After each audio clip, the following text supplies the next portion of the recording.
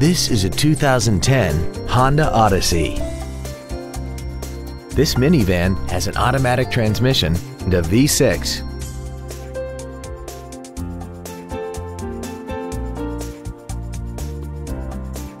All of the following features are included. Heated side view mirrors, a low tire pressure indicator, leather seats, an anti-lock braking system, aluminum wheels, and daytime running headlights.